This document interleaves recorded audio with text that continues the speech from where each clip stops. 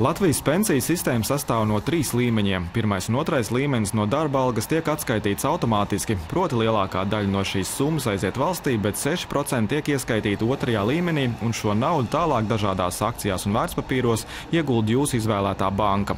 Savukārt trešais pensiju līmenis ir brīvprātīgs. Tajā ik viens var iemaksāt brīvi izvēlētus līdzekļus bankās, izvēloties kādu no to piedāvātajiem ieguldījumu plāniem.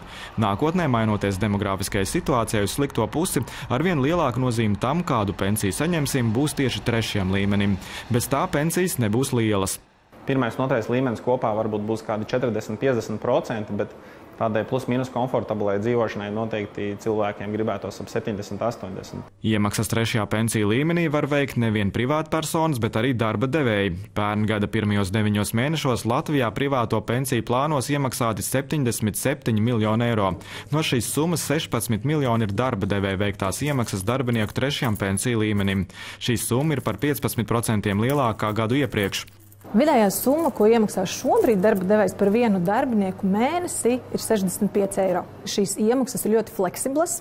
Šis ir neterminēts līgums, kur darba devējs ir tiešām ar brīvām iespējām izvēlēties, kurus darbiniekus viņš vēlas šādā veidā papildus motivēt. Tā var, var būt visi darbinieki, tā var būt kāda noteikta darbinieku grupa. Tāpat arī iemaksu regularitāte ir tā lieta, ko izvēlas pats darba devējs, un arī iemaksu apjoms var variēt no tā, kā izvēlas darba devējs. Ir uzņēmumi, kas piedāvā veikt papildus iemaksas trešajā līmenī no darba devēja puses ar noteikumu, ka darbinieks arī pats tādas veids. Tātad iemaksas tiek kombinētas.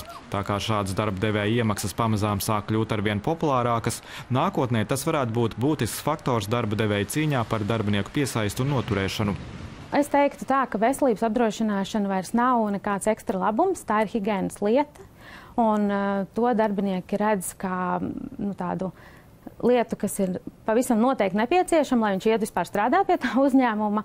Un, uh, protams, tāds uh, darbdevēja iemaksas pensiju fondā šobrīd ir tāds papildus ekstra bonus, ko viņš var iegūt. Un līdz ar to es domāju, ka nākotnē tas arī varētu nospēlēt par labu kādam uzņēmumam. Es domāju, tas uh, higienas faktors būtu panākt, lai šis trešajā līmenī maksājums ir apmēram 4% no brutto algas, jo tad mēs panākam tādu varbūt globāli zināmu standartu, apmēram 10% no savas pirmsnodokļa algas būtu jāiemaksā uh, uzkrājumam pensijai.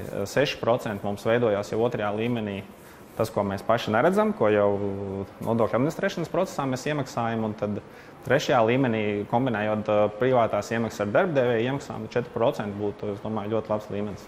Pērn Luminor bankas veiktā aptaujā secināts, ka puse Latvijas iedzīvotāji nav informēti par darba devēja iespējām ieguldīt darbinieku privātajos pensiju uzkrājumos. Turklāt zināšana par to trūks cilvēkiem visās vecuma grupās.